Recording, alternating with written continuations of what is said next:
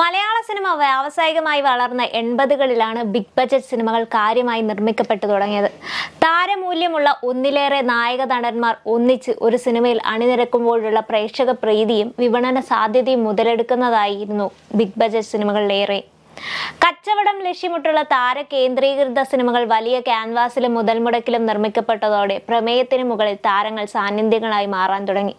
Mass രീതിയിലെത്തി പുതിയ ഉദയം സൃഷ്ടിച്ച നിരവധി സിനിമകൾ മലയാളത്തിലുണ്ട്. അന്യഭാഷയിലെ മാസ് സിനിമകൾ ചർച്ചയാകുന്ന കാലത്ത് മലയാളത്തിലെ മാസ് സിനിമകൾ ഫിലിമി ഹുഡ്സ് ഓർമ്മിപ്പിക്കാൻ ആഗ്രഹിക്കുന്നു. മലയാള സിനിമയുടെ മാസ് മുഖം തന്നെ മാറ്റിയെഴുതിയ സിനിമ റിലീസായിട്ട് നാൽപ്പത്തിരണ്ട് വർഷങ്ങളായി. ആയിരത്തി തൊള്ളായിരത്തി എൺപത് ഏപ്രിൽ പതിനെട്ടിന് റിലീസായ അങ്ങാടി എന്ന സിനിമയെക്കുറിച്ചാണ് പറയുന്നത്.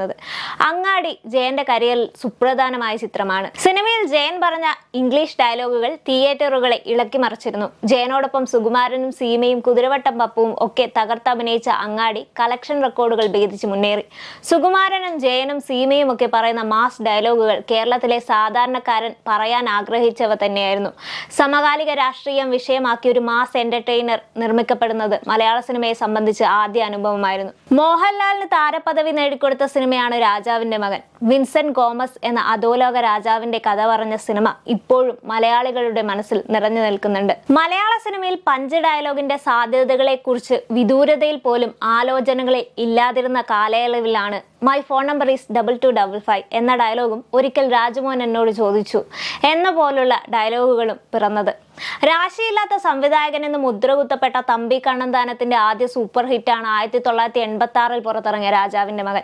മലയാള സിനിമയുടെ ബോക്സ് ഓഫീസ് ഹിറ്റുകളിലേക്ക് മമ്മൂട്ടിയുടെ ശക്തമായ തിരിച്ചുവരവിന് വഴിയൊരുക്കിയ സിനിമയാണ് ന്യൂഡൽഹി അഴിമതിക്കാരായ രണ്ട് രാഷ്ട്രീയക്കാരുടെ ദുഷ്കൃത്യങ്ങൾ വെളിച്ചത്തിന് കൊണ്ടുവന്നതിനെ തുടർന്ന് തടവിലാക്കപ്പെട്ട ഡൽഹിയിലെ ഒരു പത്രപ്രവർത്തകന്റെ പ്രതികാരത്തിന്റെ കഥയാണ് സിനിമ പറയുന്നത്. മലയാള സിനിമാ ചരിത്രത്തിലെ ഏറ്റവും വലിയ ഹിറ്റുകളിലൊന്നും മമ്മൂട്ടിയുടെ അഭിനയ ജീവിതത്തിലെ വലിയ വഴിത്തിരിവുമായിരുന്നു ഈ സിനിമ. ജോഷി സംവിധാനം ചെയ്ത സിനിമ ആയിരത്തി തൊള്ളായിരത്തി എൺപത്തി ഏഴിലാണ് റിലീസായത്. സാഗർ എലിയാസ് ജാക്കി എന്ന പേരും ഒപ്പമെത്തിയ ബി ജി എമ്മും മലയാളികൾക്ക് സമ്മാനിച്ചത് ഒരു വീരനായകനെയാണ്. മോഹൻലാലിനെ സൂപ്പർ സ്റ്റാർ പദവിയിലേക്ക് എത്തിച്ച മറ്റൊരു സിനിമയാണിത്. സാഗർ എലിയാസ് ജാക്കി എന്ന ആ പേരിന് തന്നെ ഉണ്ടായിരുന്നു കിടിലൻ മാസ്. കെ മധുവിന്റെ സംവിധാനത്തിൽ ആയിരത്തി തൊള്ളായിരത്തി എൺപത്തി ഏഴിലാണ് സിനിമ പുറത്തിറങ്ങിയത്. നരസിംഹ മന്നാടിയാരുടെ ഭാര്യയായിരിക്കാൻ നിനക്ക് സമ്മതമാണ്. ഇതിനു മുൻപോ ശേഷമോ മലയാള സിനിമയിൽ ഇങ്ങനെയൊരു പ്രണയാഭ്യർത്ഥന ഉണ്ടായിട്ടില്ലെന്ന് പറയാം. മമ്മൂട്ടിയുടെ പൗരുഷ ഗാംഭീര്യവും ഒപ്പം പകയും പ്രതികാരവും പ്രണയവും അരങ്ങുവാണ് സിനിമയാണ് ധ്രുവം.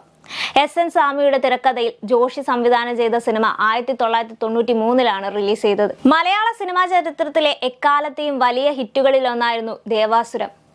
മോഹൻലാൽ മംഗലശ്ശേരി നീലകണ്ഠനായി എത്തിയ ചിത്രം മലയാളികളുടെ ജീവിതത്തിന്റെ തന്നെ ഭാഗമാണ്. മംഗലശ്ശേരി നീലകണ്ഠൻ എന്ന താന്തോന്നിയായ നായക കഥാപാത്രമായി സിനിമയിൽ മോഹൻലാൽ ജീവിക്കുകയായിരുന്നു.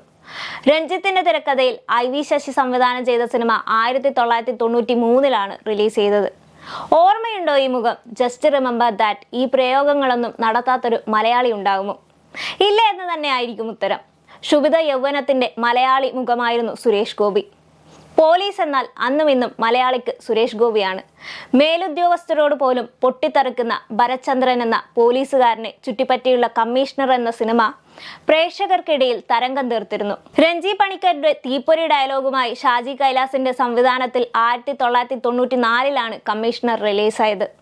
സ്ഫടികത്തിലെ ആടുതോമയെയും ചാക്കോ മാഷയെയൊന്നും മലയാളിക്ക് അത്ര പെട്ടെന്ന് മറക്കാനാവില്ല. മുട്ടനാടിന്റെ ചങ്കിലെ ചോര ഒടിക്കുന്ന ആടുതോമ എന്ന കഥാപാത്രം മോഹൻലാലിന്റെ മറ്റൊരു മാസ് കഥാപാത്രമായിരുന്നു.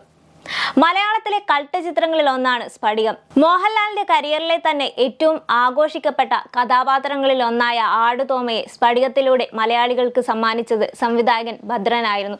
ആയിരത്തി തൊള്ളായിരത്തി തൊണ്ണൂറ്റഞ്ചിലാണ് സിനിമ പുറത്തിറങ്ങിയത്. അക്ഷരങ്ങൾ അച്ചടിച്ചു കൂട്ടിയ പുസ്തകത്താളിൽ നിന്ന് പഠിച്ച ഇന്ത്യയല്ല അനുഭവങ്ങളുടെ ഇന്ത്യ. കോടിക്കണക്കായ പട്ടിണിക്കാരുടെയും നിരക്ഷകരുടെയും ഇന്ത്യ. ദ കിങ് മലയാള സിനിമയിൽ അതുവരെയുള്ള കളക്ഷൻ റെക്കോർഡുകൾ ബ്രേക്ക് ചെയ്ത് പുതിയ റെക്കോർഡുകൾ സൃഷ്ടിച്ചു. മമ്മൂട്ടി അവതരിപ്പിച്ച ജോസഫ് അലക്സ് എന്ന നായക കഥാപാത്രം മലയാള സിനിമയിലെ പൗരുഷമുള്ള കഥാപാത്രങ്ങളുടെ കൂട്ടത്തിൽ ഉയർന്നു നിൽക്കും. ആയിരത്തി തൊള്ളായിരത്തി തൊണ്ണൂറ്റി അഞ്ചിൽ പുറത്തിറങ്ങിയ സിനിമ രഞ്ജി പണിക്കരുടെ തിരക്കഥയിൽ ഷാജി കൈലാസ് ആണ് സംവിധാനം ചെയ്തത്. രാജാവിന്റെ മകനും ദേവാസുരത്തിനു ശേഷം മോഹൻലാലിന് വീണ്ടും മാസ് അംഗീകാരം കിട്ടിയത് ആറാം തമ്പുരാനിലെ ജഗന്നാഥനിലൂടെയാണ്. രഞ്ജിത്തിന്റെ തിരക്കഥയിൽ ഷാജി കൈലാസ് സംവിധാനം ചെയ്ത സിനിമ ആയിരത്തി തൊള്ളായിരത്തി തൊണ്ണൂറ്റി ഏഴിലാണ് പുറത്തിറങ്ങിയത്. മലയാള സിനിമ ബോക്സ് ഓഫീസിനെ ആദ്യമായി ഇരുപത് കോടി എന്ന മാന്ത്രിക സംഖ്യയിലേക്ക് കൈപിടിച്ചുയർത്തിയ ചിത്രമാണ് നരസിംഹം. രഞ്ജിത്തിന്റെ മിശ്രണം ഷാജി കൈലാസിന്റെ പാക്കിംഗ് ഇതിനൊപ്പം മോഹൻലാലിന്റെ അഭിനയവും ചേർന്നതോടെ മലയാള സിനിമയിലെ എക്കാലത്തെയും വമ്പൻ ചിത്രങ്ങളിൽ ഒന്നാണ് രണ്ടായിരത്തി ഇരുപത് ജനുവരി ഇരുപത്തി ആറിന് പുറത്തിറങ്ങിയത്. ദേവാസുരം ആറാം തമ്പുരാൻ ഉസ്താദ് എന്നിവയ്ക്ക് ശേഷം അതേ ചേരുവകൾ അല്പം കൂടി കടുപ്പിച്ച് മോഹൻലാൽ മീശ വിരിച്ച് മുണ്ടുമടക്കി കുത്തിവന്ന നരസിംഹം ബോക്സ് ഓഫീസിൽ അത്ഭുതങ്ങൾ സൃഷ്ടിച്ചു. ഇരുപത്തൊന്നാം നൂറ്റാണ്ടിലെ ആദ്യ ഇൻഡസ്ട്രി ഹിറ്റാണ് നരസിംഹം. രാജമാണിക്യം മമ്മൂട്ടിയുടെ കരിയറിൽ ബ്രേക്ക് നൽകിയ സിനിമയായിരുന്നു. അൻവർ റഷീദിന്റെ ആദ്യ സംവിധാന സംരംഭമായ രാജമാണിക്യം ബോക്സ് ഓഫീസിൽ വലിയ കോളിളക്കം സൃഷ്ടിച്ചു. ഒരിടവേളയ്ക്ക് ശേഷം മമ്മൂട്ടി ഒരു മുഴുനീള ഹ്യൂമർ കഥാപാത്രമായി എത്തിയ സിനിമ തിയേറ്ററിൽ വലിയ രീതിയിൽ ആഘോഷിക്കപ്പെട്ടു. രണ്ടാത്തഞ്ചിലാണ് സിനിമ റിലീസ് ചെയ്തത്.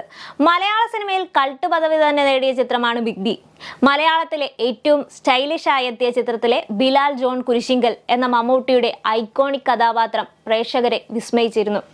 രണ്ടായിരത്തി ഏഴിൽ റിലീസ് ചെയ്ത ബിഗ് ബി മലയാള സിനിമയിൽ പുതിയൊരു രീതിക്ക് തന്നെ തുടക്കമിട്ടിരുന്നു.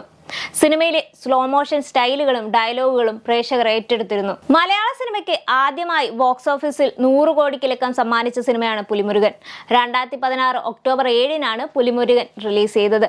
മലയാളത്തിൽ ഒരു സിനിമ നേടുന്ന ഏറ്റവും ഉയർന്ന ആദ്യ ദിന കളക്ഷൻ വേഗത്തിൽ ഇരുപത്തഞ്ച് കോടിയും അമ്പത് കോടിയും പിന്നിടുന്ന ചിത്രം. നൂറ് കോടി ക്ലബിൽ ഇടം നേടുന്ന ആദ്യ മലയാള സിനിമ യു കെ ന്യൂസിലൻഡ് എന്നിവിടങ്ങളിൽ ഏറ്റവും കൂടുതൽ കളക്ഷൻ നേടിയ സിനിമ. തുടങ്ങിയ പുലിമുരുകൻ സൃഷ്ടിച്ച നേട്ടങ്ങൾ അനവധിയാണ്.